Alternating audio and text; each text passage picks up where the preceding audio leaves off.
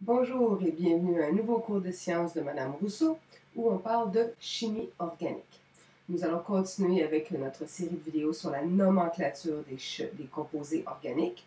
Et cette fois, nous allons nous attaquer à un nouveau groupe fonctionnel qui s'appelle le groupe des carboxyles. Donc, c'est les acides carboxyliques qui contiennent le groupe fonctionnel COOH. Et on va apprendre de quoi ça a l'air, ce groupe fonctionnel-là, puis comment les nommer. Donc, d'abord, le groupe fonctionnel, on l'appelle le COOH. Donc, il y a vraiment deux O. Il faut dire le O deux fois. C'est du COOH. Et c'est parce qu'effectivement, il y a deux oxygènes à l'intérieur du groupe fonctionnel. Il y a un oxygène qui est relié à un double lien ici et un autre oxygène qui fait partie du groupe hydroxyle, le petit groupe OH.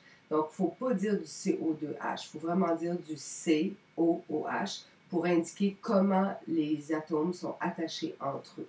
Donc, on dit CO parce qu'il y a un lien CO ici, qui est le double lien, et on dit OH parce qu'il y a un groupement OH. Donc, ce que tu peux peut-être remarquer, c'est que le groupe carboxyle, euh, ça se trouve à être en fait un mix de deux groupes qu'on a déjà vus. On a ici le groupe carbonyl avec le C et le double lien sur le O. Et on a le groupe hydroxyle qui est le groupe OH ici. Donc, c'est comme un mix des deux ensemble et c'est pour ça que ça s'appelle le groupe fonctionnel des carboxyles. Donc, le groupe carbonyl plus le groupe hydroxyle. Ça fait le groupe carboxyle. Euh, le R qui est là, je te rappelle que ça représente un radical qui, est un groupe alkyle. Euh, donc, ça pourrait être euh, un méthyle, un éthyle, un propyle, un butyl. Ça pourrait être donc un groupe d'hydrocarbone quelconque. Euh, ça va toujours être un alkyle pour nous en chimie On va seulement faire des groupes fonctionnels qui vont avoir des simples liens pour s'attacher à ces groupes fonctionnels qu'on étudie. OK, donc comment les nommer? Il est un petit peu plus spécial celui-là quand on va le nommer parce qu'il faut rajouter le mot acide en avant. Donc on va continuer à faire notre processus normal de nommer l'alcane et ensuite rajouter le suffixe. Dans ce cas-ci, le suffixe, ça va être OX, ça va devenir un adjectif, mais on doit rajouter le mot acide en avant. Donc on a une petite étape de plus qu'il ne faut pas oublier quand on va nommer les composés organiques qui contiennent ce groupe fonctionnel. Mais la première étape ne change pas, il faut nommer l'alcane en premier. Donc, si tu as eu de la difficulté avec ça, retourne dans la vidéo numéro 4 où on explique comment nommer un alcane avec les trois étapes qui sont d'abord trouver la racine en comptant le nombre de carbone dans la chaîne principale. Ensuite, on va rajouter le suffixe an si on a seulement des liens simples entre les carbones. Et finalement, on rajoute des préfixes s'il y a des ramifications avec des groupes alkyles qui sont attachés sur la chaîne principale. Donc, ces trois étapes-là, on continue à les faire, mais en plus, il faut rajouter le suffixe oïque à la fin et en plus le mot acide en avant. Alors, faisons un exemple ici où on voit que le groupe carboxylique est juste là. Donc, on a le C avec le double lien sur le O et le C avec un simple lien sur l'hydroxyle. Donc, on sait déjà que le nom va commencer par le mot acide. Une fois qu'on sait ça, il faut nommer notre alcane. L'alcane, première étape, c'est de compter le nombre de carbone. Donc ici, c'est assez simple, on en a juste un. Parce qu'on a juste un carbone, c'est certain qu'on n'a pas de lien double ou de lien triple entre carbones. Donc, je ne parle pas de ce lien double ici, puisque ce lien double n'est pas entre deux carbones, il est avec un oxygène. Donc, il faut vraiment regarder s'il y a des liens doubles ou des liens triples entre atomes de carbone. Ici, on a juste un carbone. Donc, c'est sûr qu'on n'a pas de lien double ou triple entre les carbones. Alors, ça va être du méthane. Donc, méthane parce qu'on a juste un carbone, Anne parce qu'il n'y a pas de lien double ou triple entre les carbones. Tout ce qui me reste à faire maintenant, c'est de tenir compte de ce groupe ici en rajoutant le dernier suffixe et ça va faire de l'acide méthanoïque. Voilà, c'est juste ça. Donc, on va faire quelques exemples pour te pratiquer. Donc, premier exemple qu'on va faire, c'est cette molécule ici, où on voit notre groupe carboxyle juste là. Donc, on a un carbone qui est attaché à un double lien sur l'oxygène et le même carbone est attaché à un autre oxygène, mais qui fait partie du groupe hydroxyle. Donc, ça, c'est mon groupe carboxyle. Et je sais donc que le nom va commencer par le mot acide. Une fois que j'ai ça, je dois continuer en déterminant le nom de l'alcane de base. Première étape, c'est de compter combien il y a de carbone. Il y a deux carbones, donc la racine va être 8. Ensuite, je vais regarder c'est quoi les liens qu'il y a entre les carbones. Il y a seulement un lien entre les carbones et c'est un lien simple, donc ça confirme que j'ai un alcane et le suffixe va être an. Donc j'ai un acide éthane, quelque chose. Qu'est-ce qui me manque? Il manque le suffixe. Donc je vais aller chercher le suffixe pour l'acide qui comprend ce groupe fonctionnel et le suffixe c'est oïque, donc ça fait de l'acide éthanoïque. Euh, en passant, cet acide-là, l'ancien nom, c'est de l'acide acétique. Donc, c'est un nom qu'on entend très souvent puisque l'acide acétique, c'est le composant principal du vinaigre.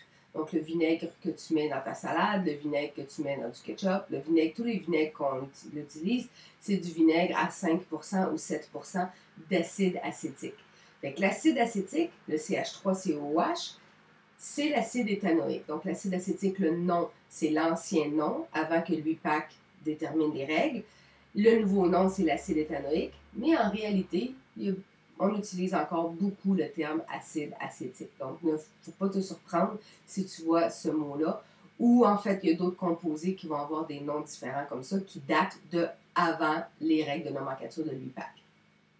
Mais pour l'instant, on va garder l'acide éthanoïque et voici de quoi ça va. Donc, on a nos deux carbones ici, le groupe CH3 qui est de ce côté-là, et notre groupe carboxyle avec le double lien sur l'oxygène rouge ici et le simple lien avec le groupe hydroxyle juste là.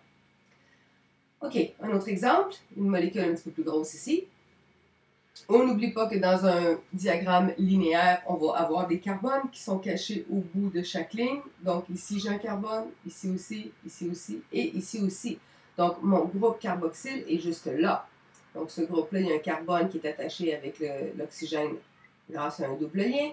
Et le même carbone est attaché avec l'oxygène de l'hydroxyle grâce à un simple lien. Donc ça ici, c'est mon groupe carboxyle. Donc je sais que ça va commencer par le mot acide. L'étape suivante, c'est de nommer l'alcane de base. Donc je dois compter combien est-ce qu'il y a de carbone. Dans ce cas-ci, il y a 5 carbones. Donc la racine va être pente. Évidemment que ça va être du pentane parce que les liens qu'il y a entre les carbones sont tous des liens simples. Ça veut dire que ça va être effectivement du pentane. Et après, je regarde s'il y a des ramifications. Effectivement, il y en a une ramification. Juste ici en haut, j'ai une ramification. Ce carbone-là, il n'est pas mis en rose parce que ce n'est pas la chaîne principale qui se rend jusque-là, mais je dois le nommer dans la molécule de l'alcane de base. Cette ramification-là, parce que c'est seulement un carbone dans la ramification, ça va être du méthyle. Maintenant, je dois indiquer la position de cette ramification-là. Ça veut dire que je dois numéroter les carbones. Pour les numéroter, je dois toujours commencer pour que le groupe fonctionnel ait la plus petite position possible. Ça veut dire que je vais devoir les numéroter dans cet ordre-là. Il faut que le 1 appartienne au lien double et ça veut dire que le 3 va devenir le carbone du groupe méthyle et je vais devoir aller mettre un 3 juste ici en bas pour indiquer que la ramification est au carbone numéro 3. Parce que ici j'avais le groupe carboxyle, je dois finir en mettant le suffixe oïque et donc ça me fait de l'acide 3-méthylpentanoïque qui ressemble à ceci. Donc, j'ai ma chaîne principale de 1, 2, 3, 4, 5 carbones. Sur le carbone du bout, j'ai mon double lien avec l'oxygène et mon simple lien avec l'hydroxyle. Et sur le carbone numéro 3, je vais avoir le groupe méthyle qui est attaché ici. OK, prochain exemple, tu pourrais essayer de le faire tout seul d'abord. Pèse sur pause et reviens pour voir la réponse. Alors la réponse, D'abord, on sait qu'on a un groupe carboxyle qui est juste ici parce qu'on a un carbone avec un double lien d'oxygène et le même carbone a un simple lien avec l'hydroxyle. Donc, parce que j'ai ce groupe ici, je sais que ça va commencer par acide.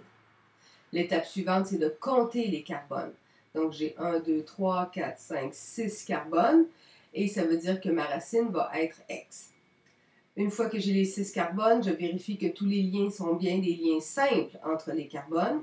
Effectivement, j'ai juste des liens simples parce que ce lien double-là ne compte pas. Ce n'est pas un lien double entre carbones. C'est un oxygène ici. Ça veut dire que ça confirme que j'ai de l'hexane. Là, je regarde si j'ai des ramifications.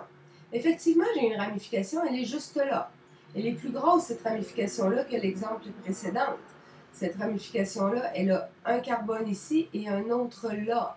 Ça veut dire qu'il y a deux carbones. Parce qu'il y a deux carbones dans la ramification, ça va faire un groupe alkyle qui s'appelle éthyle. Je dois maintenant identifier la position de cette ramification-là.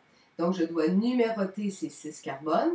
Pour les numéroter, je dois toujours commencer pour que le groupe fonctionnel ait la plus petite position possible.